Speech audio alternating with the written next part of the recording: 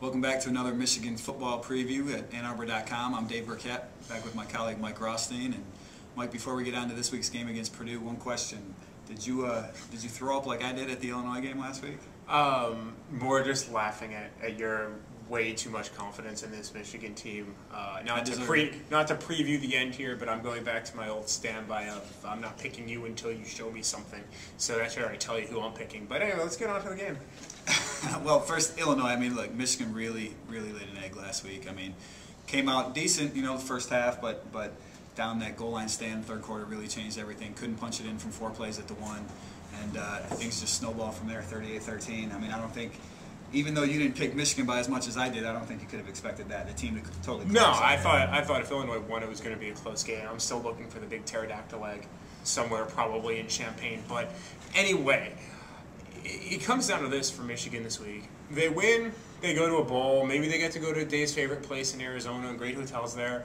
Or maybe they get to go to Pizza Pizza Bowl and you can take some stuff home to your kid or, or whatever. But if they lose this week, I think they're done. I don't think you can. I don't think they can win at Wisconsin and Ohio State. I just you saw what Juice Williams did, and Terrelle Pryor is probably a bigger, stronger version of Juice Williams, and they're the Ohio State defense is much more talented. So this is a much must-win game for Michigan this week, and I just I don't know what's going to happen. No, yeah, first of all, Arizona, that's more about seeing my buddies, Joe Chris. I'll see you guys down there, than it is about the, the hotel. Uh, number two, you know, you're right. Purdue has played, I mean, they've played some good games against Oregon, against uh, Ohio State, beating them, obviously, against Notre Dame coming down to the last minute. But they're kind of like Michigan in that turnovers have really been an issue for them this year. No, I would absolutely agree. It's, I'm not saying it's a must you know that they're not going to win at all. I think Michigan has a good shot because they're at home and because you got to think at some point Brandon Minor is going to be like, all right, I really want to run hard again. Although he barely played against Illinois, which I think was a big factor in their loss. He played in pass protection for some reason. Yeah, I don't. I still don't know. I mean, you know, he clearly healthy enough to play uh, in pass protection and for one play and maybe the critical play of the game, but not to run it on any other play. Still don't get that, but Michigan's defense is a huge issue right now. Purdue, the one thing you know about Purdue is they can score. They've always been able to score, whether it was you know Joe Tiller or now in the first year of Danny Hope. They're able to do that. They have a really good running back. Joey Elliott has looked serviceable at times, and Michigan's had a big propensity this year to make serviceable quarterbacks look like all-American quarterbacks. So got to wonder what's going to happen there. I know you like Ralph Bolden. I mean, let's get to what Michigan has to do in order to win this game because you're right. I think if Michigan loses this week, it, it doesn't bode well for the last two games, Wisconsin, Ohio State. So what does Michigan have to do to, to they, They have to not turn the ball over. That's the, that's the first thing. Tate Forcier has to have better ball protection.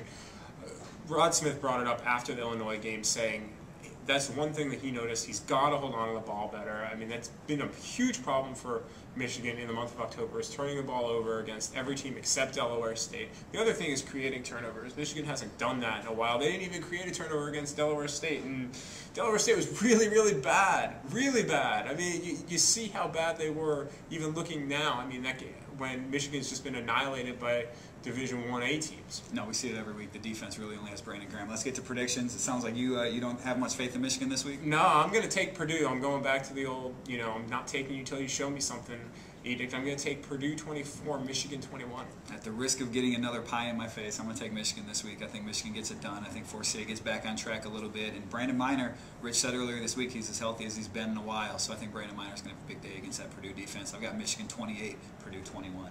Um, I'm Dave Birkett. I'm Mike Rothstein, and still laughing that Dave missed that badly on the Michigan Illinois game. At least I didn't pick uh, Western to beat him. We'll see you next week on AnnArbor.com. Yeah, it happens.